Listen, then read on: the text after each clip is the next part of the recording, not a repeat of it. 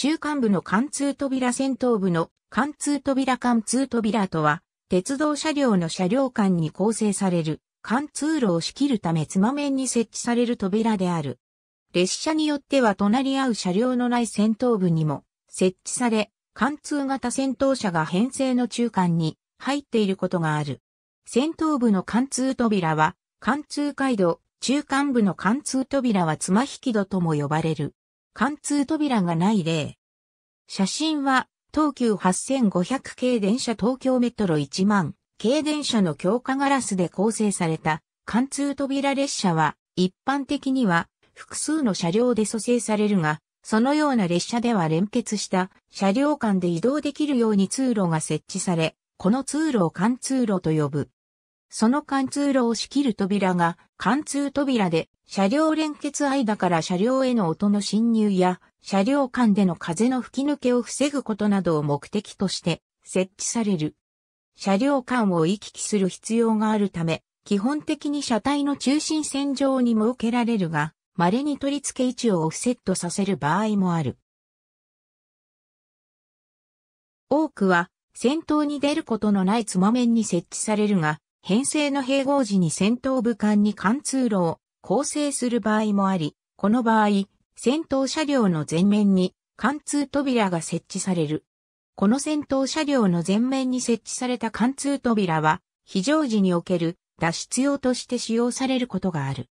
前面に貫通扉が設けられている先頭車両を貫通型、貫通扉が設けられていない先頭車両を非貫通型ということがある。貫通扉は固定された編成の中間部の場合、コストダウンや見通しを確保して開放的な印象を与えるために省略される場合がある。古い車両では幅が広かったり、キノコ型の貫通路もある。具体的には連結された車両で、それぞれ車両のつま面に貫通扉を設置すると、車両間には2枚の扉が存在することになるが、このうち片方の扉を省略したり、場合によっては両方とも省略してしまうこともある。多くの車両は、ステンレス無地や骨組みに化粧板を貼った扉だが、東京メトロ1万系電車や西武3万系電車のように全面強化ガラスを使用したガラス構成の貫通扉もある。また、先頭部の貫通ホロを隠すため、通常の貫通扉の外側にさらに扉を設ける例も特急系車両を中心に見られる。近年では高速走行時の安全性や美観の向上を目的に先頭部の貫通ホロを撤去したり、製造時から装備しないケースも増加している。日本においては明治時代の二軸客車については貫通路を有しないものがほとんどであった。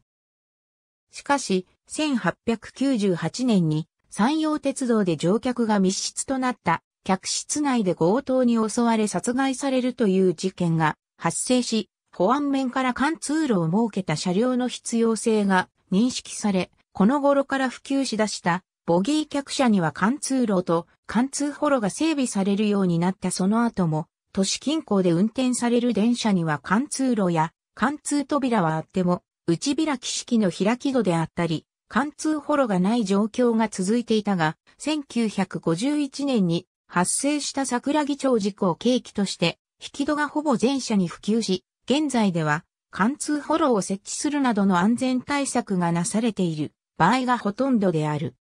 貫通扉についても、韓国で2003年に発生した手口化鉄放火事件を契機として、新規製造される車両については、火災時の炎症防止策としてドア閉め装置とともに、設置が義務付けられており、半ば常識的な存在である。アムトラックスーパーライナー客車の貫通扉。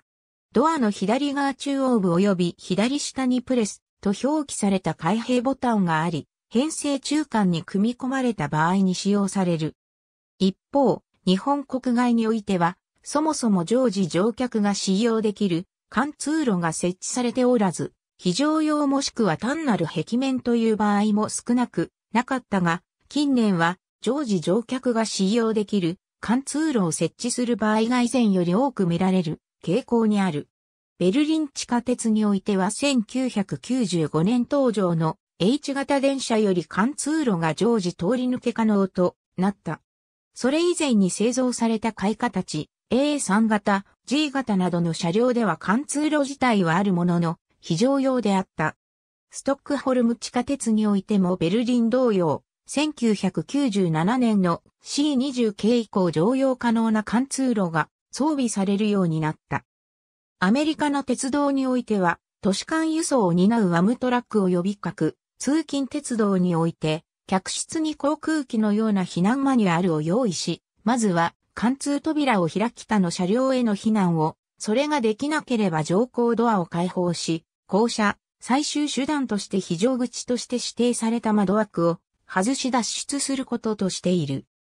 アメリカの鉄道における貫通扉、貫通路は普段から使用できる車両、路線と非常時のみに通行できる車両、路線とがあるが、長距離旅客列車を運行するアムトラックの場合は、自動ドアを備えた貫通扉を各車の前後に備えており、上部の手押しボタンを押か、または足元のボタンを蹴ることで動作し、食堂車に移動する際などに使用することができる。地下鉄車両の非常扉非常時は、このように扉を開け、ここより避難をする。車内床から軌道までは1メートル近くあるので、降りる際は救援部隊が階段やはしごを仮設する。また、英断6000系電車などのように、扉自体が非常階段となる例も存在する。地下鉄車両や地下鉄乗り入れ仕様の車両では、先頭車両に貫通扉を必要としない場合でも、非常用として非常扉の設置が鉄道に関する技術上の基準を定める省令により求められている。これは車両とトンネル壁間にスペースがなく乗客が側入り口の扉を開けて避難できない場所で用いるもので、車両の末端部から乗客を車外に脱出、誘導する際に使用する目的で設けられている。この目的で設置される貫通扉の場合、車両間を行き来する必要がないため、デザイン上の理由から取り付け位置をオフセットさせたり、外開き式のプラグドアとする例も見られる。近く間を運行する車両でもトンネルの内径を広くとっている場合は、非常扉のない車両でも運行できる。